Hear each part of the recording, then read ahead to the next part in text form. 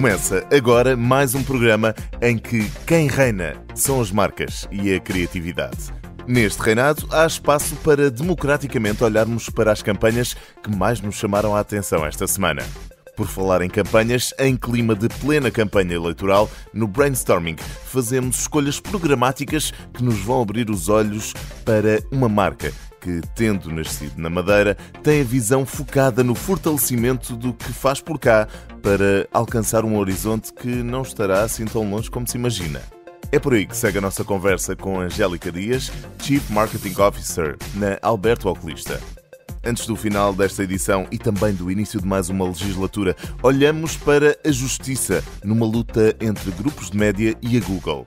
Mas, antes de mais, apoiamos causas que nos dizem respeito a todos e, sem qualquer pendor ou ideologia política, votamos naquilo que, no fim de contas, todos queremos, ou talvez devêssemos querer: um mundo melhor. We can't turn back time.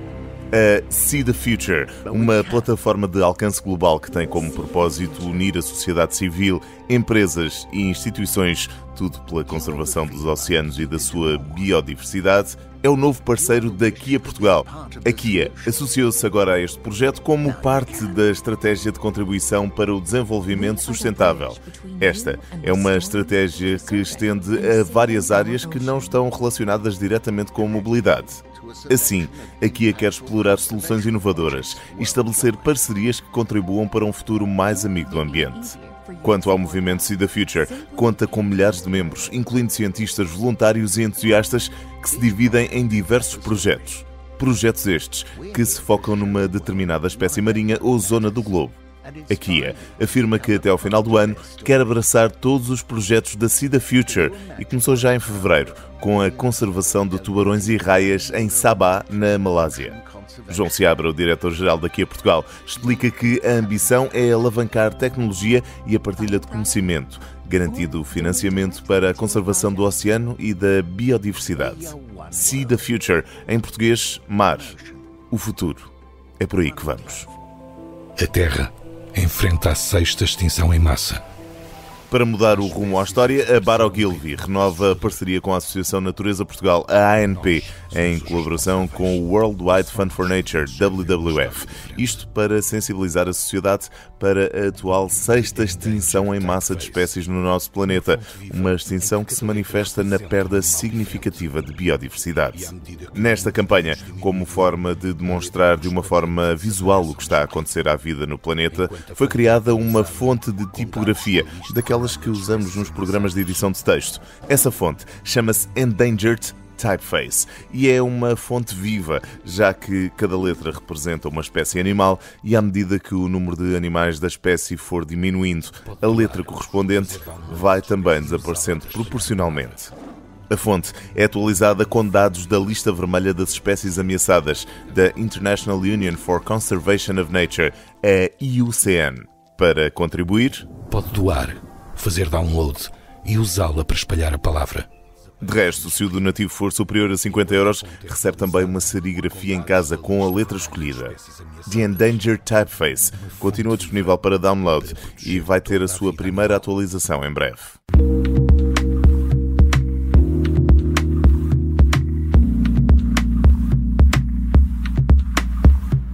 Nesta edição do Brainstorming estamos à conversa com Angélica Dias, é Chief Marketing Officer na Alberto Oculista.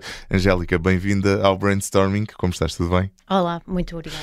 Começamos aqui uh, por uh, assinalar os 40 anos de existência da Alberto Oculista. Com estas uh, 70 lojas espalhadas pela Península Ibérica, 40 anos de existência, com, com que olhos é que vem então o crescimento da marca e perceber então se ao fim destes 40 anos se esperavam estar onde estão neste momento?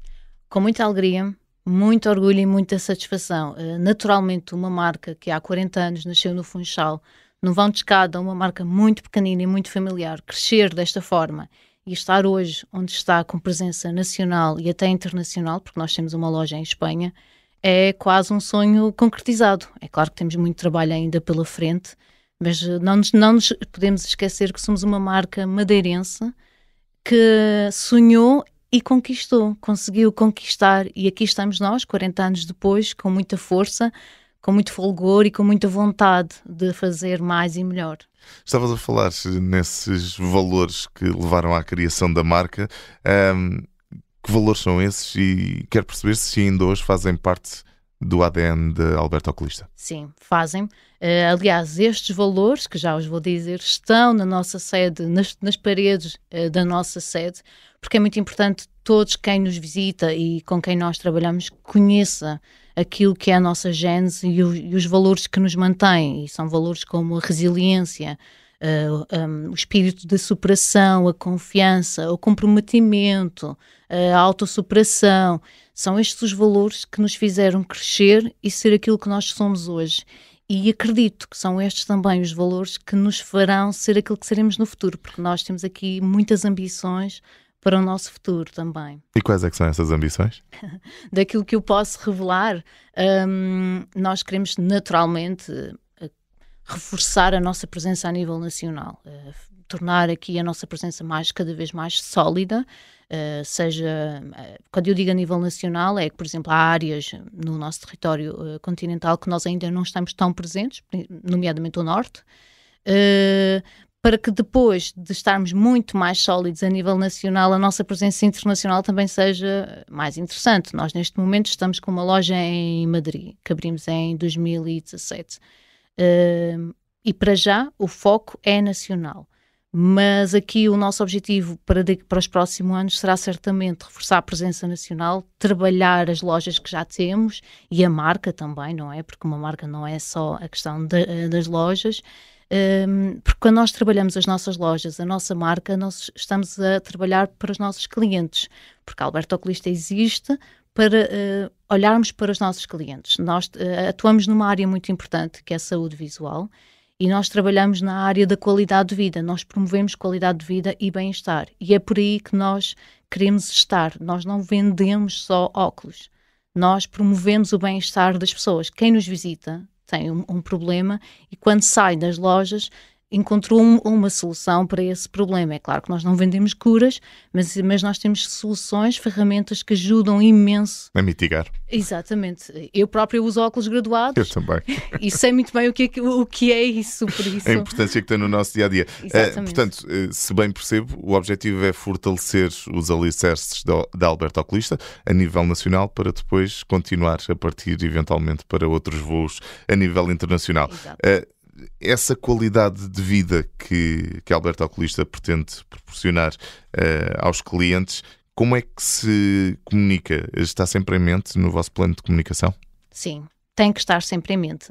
Uh, eu diria que mais do que estar presente no nosso plano de comunicação, quando as pessoas vão às nossas lojas, os nossos colaboradores têm que passar esta mensagem. Quem nos visita tem que sentir isto.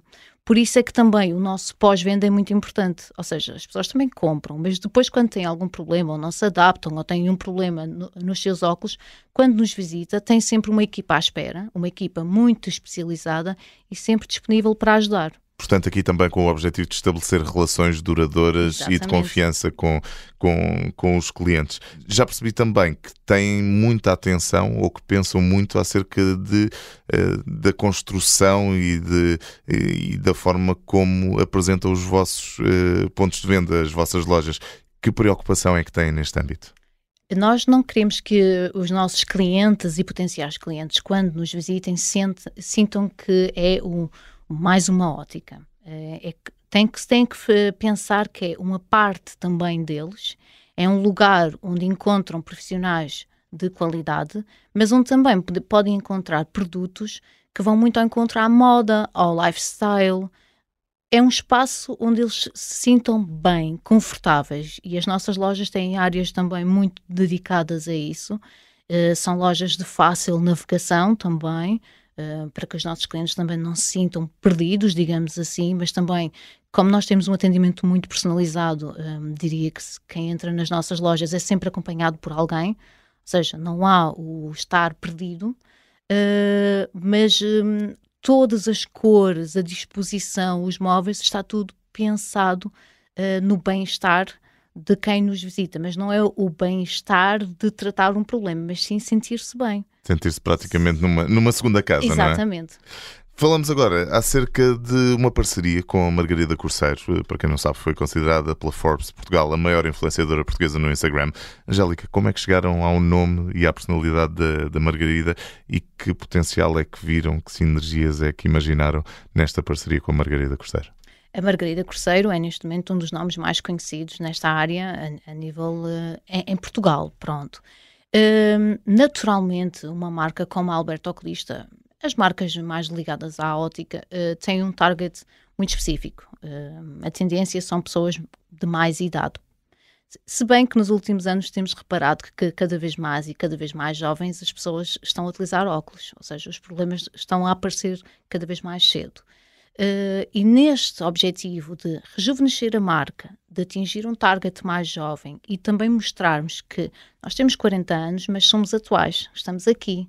Uh, criamos esta parceria com, com a atriz e a Margarida Corseiro e, e, estamos a fazer um belo trabalho com ela. E a nível de resultados, já, tem, já conseguem ter alguma medida, uh, ou já, já conseguem medir os resultados? Estão a ir ao encontro das vossas expectativas? Sim, são, são resultados muito felizes, uh, vai muito ao encontro daquilo que nós pretendíamos. E é um, e é um, um tipo de marketing, este marketing de influencers, é, é algo para continuar nos próximos tempos? Eu diria que é algo que está muito em voga nos, nos dias de hoje e que as marcas não podem descurar. Naturalmente, nós vamos continuar a olhar com muita atenção para, para este marketing uh, e, claro, a apostar.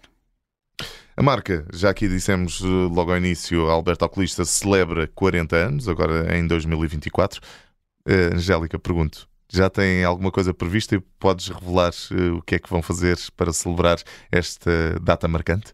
Este ano é muito especial para nós mesmo. Nós fazemos 40 anos e naturalmente vamos ter um grande evento, vamos ter grandes momentos de comunicação dedicados a isso. É claro que não o posso revelar porque aí todos os nossos seguidores terão que acompanhar e os nossos clientes Fica também. Fica todo o desafio para acompanhar as, re as, redes eh, sociais da Alberto Oculista e também para, para saberem o que e para se dirigirem a, a, aos pontos de venda. Um, Pronto, já percebi que não podemos revelar o que é que vai acontecer neste 40 aniversário, mas quero saber o que é que se pode esperar do futuro da Alberto Oculista, para onde é que a Alberto Oculista vai olhar no futuro. Eu posso traçar o futuro em três palavras: uh, consolidação, inovação e crescimento. Nós vamos tentar consolidar ao máximo a nossa marca e presença nacional, aliás, como já o tinha referido. Vamos continuar a apostar na questão da inovação, da tecnologia, e, e, é muito por aí que temos ido desde o início. O serviço de óculos 100% à medida é um exemplo claro disso, é um serviço único e exclusivo nosso em Portugal.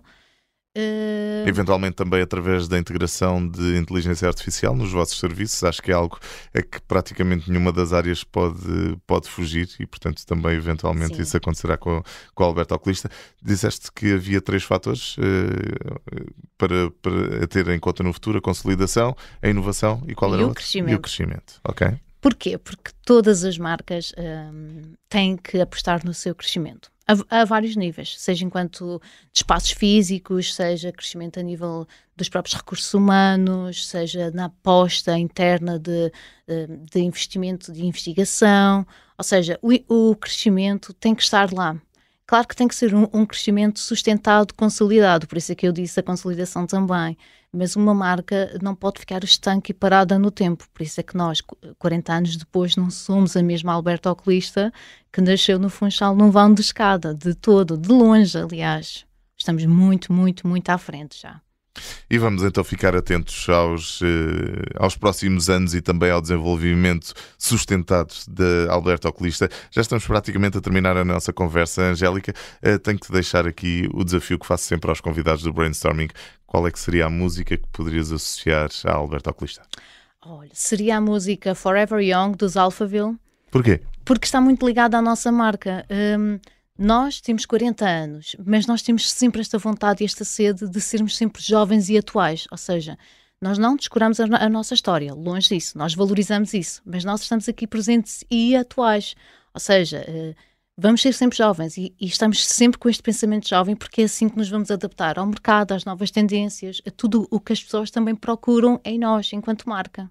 Uma juventude que se recria eh, ao fim de 40 anos e que se vai rejuvenescendo ao longo da história da marca. Estivemos à conversa com Angélica Dias, Chief Marketing Officer na Alberto Oculista. Angélica, foi um prazer receber-te aqui no Brainstorming. Até breve. Muito obrigada. E mais uma vez, parabéns pelos 40 anos da Alberto Oculista. Muito obrigada. Até à próxima. Obrigada.